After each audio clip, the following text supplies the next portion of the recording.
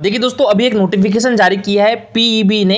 अ, जो सब इंजीनियर है ग्रुप थ्री की वैकेंसी इसमें लगभग 2500 पद है दोस्तों ठीक है? कुल 2500 पद है और इसमें जिसने टेक किया हो बी किया हो या डिप्लोमा किया हो थ्री ईयर इंजीनियरिंग डिप्लोमा लगेगा इसमें।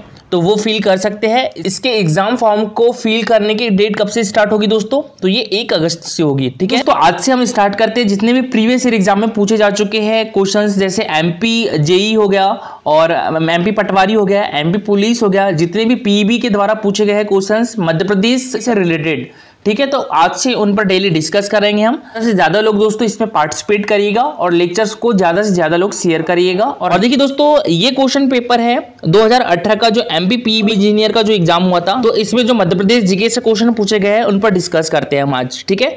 देखिए तो पूर्व राष्ट्रपति एबीजे अब्दुल कलाम द्वारा लिखित ऑडियो पुस्तक विंग्स ऑफ़ फायर में पृष्ठभूमि पर दी गई आवाज़ का नाम बताइए। तो क्या है दोस्तों इसका नाम? गिरीश कर्नाड।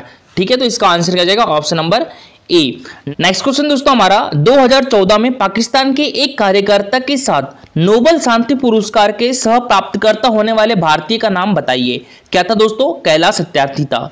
तो इसका आंसर क्या जाएगा? Option number four. और देखिए दोस्तों, इसी के बाद एमपीपीएससी 2020 में एक क्वेश्चन पूछा गया था, कैलाश सत्यार्थी का संबंध किस डिस्ट्रिक्ट से है? ठीक है? तो कैलाश सत्यार्थी का संबंध दोस्तों विदिशा डिस्ट्रिक्ट से है। और इन्होंने दोस्तों 1980 में बचपन बचाओ आंदोलन की शुरुआत की थी। और इनको दोस्तों नोबल प्राइज मिल चुका है, पीस के क्षेत्र में। कब मिला था? 2014 में। और इन्हीं के साथ दोस्तों, पाकिस्तान की मलाला यूसुफ जई को भी नोबल शांति पुरस्कार 2014 दिया गया था। नेक्स्ट क्वेश्चन है दोस्तों हमारा, निम्नलिखित में से किस भारतीय वास्तुकार को Royal Institute of British Architects के द्वारा भारत के सबसे महान वास्तुकार का दर्जा दिया गया है दोस्तों? तो ये चार्ल्स कोरिया को। तो इसका आंसर हो जाएगा ऑप्शन नंबर फोर, ठीक है? Charles Korea. मध्य प्रदेश में प्रसिद्ध माधव संगीत स्कूल 1918 में लिखित में से किसके द्वारा शुरू किया गया था? तो ये दोस्तों विष्णु नारायण भातखंडे के द्वारा स्टार्ट किया गया था। तो इसका आंसर क्या जाएगा? ऑप्शन नंबर एक, ठीक है? विष्णु नारायण भातखंडे। नेक्स्ट क्वेश्चन है दोस्तों हमारा, निम्नलिखित में से कौन भूतपूर्व मध्य भारत के बिलासपुर में पैदा हुए थे और हिंदी एवं मराठी रंगमंच में एक मिसाल बन गए थे? तो ये कौन है दोस्तों? सत्यदेव दुबे है।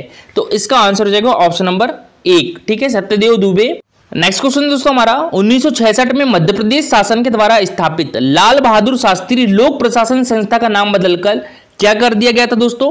तो ये R C P V, Noronha प्रशासन एवं प्रबंधकीय अकादमी। तो इसका आंसर क्या जाएगा? दोस्तों, ऑप्शन नंबर तीन, ठीक है? R C V P, Noronha प्रशासन एवं प्रबंधकीय एकेडमी नेक्स्ट क्वेश्चन दोस्तों हमारा, सुकेतु मेहता द्वारा लिखित नॉन फिक्शन पुस्तक मैक्सिमम सिटी किस भारतीय शहर पर आधारित थी दोस्तों? तो ये मुंबई पर आधारित थी। तो इसका आंसर क्या जाएगा option number three. Next question है हमारा रामनाथ गोयनका पुरस्कार किस क्षेत्र में उत्कृष्टता के लिए दिया जाता है दोस्तों? ये पत्रकारिता में। तो इसका आंसर हो जाएगा दोस्तों option number four. Next question दोस्तों हमारा, मध्य प्रदेश के महान संगीतकार पद्म विभूषण अलाउद्दीन खान खालिस्तान में बस गए। तो कहाँ बस गए थे दोस्तों ये? मेहर में। तो इसका आंसर हो जाएगा ऑप्शन नंबर थ्री ठीक है, मेहर। नेक्स्ट क्वेश्चन दोस्तों हमारा, मध्य प्रदेश में अप्रत्याशित भौगोलिक क्षेत्र का प्रतिशत क्या है जो दुर्लभ और मूल्यवान जड़ी बूटियों और औषधियों पौधियों से संपन्न है? तो इसका प्रतिशत कितना है दोस्तों? तीस प्रतिशत से अधिक है। तो इसका आंसर हो जाएगा option number four. Next question दोस्तों हमारा 1925 में राष्ट्रीय स्वयं सेवक संघ के संस्थापक कौन थे दोस्तों? यानी आरएसएस के संस्थापक कौन थे? तो ये थे के बी हेडगेवार तो इसका आंसर हो जाएगा ऑप्शन नंबर फोर। ठीक है के बी हेडगेवार नेक्स्ट क्वेश्चन दोस्तों हमारा, उस इंटीरियर डिज़ाइनर का नाम बताइए जिन्होंने भारत की सबसे luxury train the Palace of Wheels and the Royal Orient के आंतरिक भाग डिज़ाइन की है। तो कौन है दोस्तों? मोनिका खन्ना। तो इसका आंसर हो जाएगा option number four next question है दोस्तों हमारा, खजुराहो में प्रत्येक वर्ष लोक रंजन नामक राष्ट्रीय त्योहार आयोजित होता है, जिसका संबंध निम्नलिखित में से किसके साथ है? तो ये दोस्तों लोक नृत्य और कला के साथ है।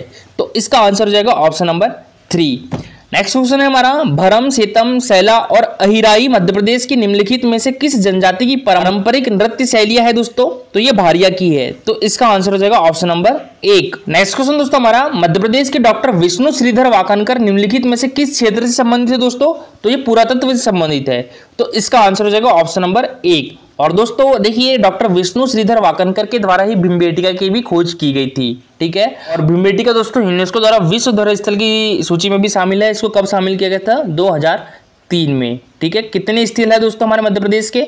तीन स्थल है। खजुराहो के मंदिर है, जिनको 1986 में शामिल किया गया था यूनेस्को द्वारा विश्व धरोहर स्थल की सूची में। उसके बाद, दोस्तों, सांची स्तूप को 1989 में शामिल किया गया था, ठीक है? और यूनेस्को का मुख्यालय कहाँ पर है दोस्तों? तो ये पेरिस में है। और यूनिसेफ का मुख्यालय कहाँ पर है? तो ये न्यूयॉर्क में है। नेक्स्ट क्वेश्चन है हमारा, मध्य प्रदेश के कुछ हिस्सों में ढोला मारू नामक लोकगीत की उत्पत्ति निम्नलिखित में से किस राज्य में हुई है दोस्तों? तो ये राजस्थान में हुई है।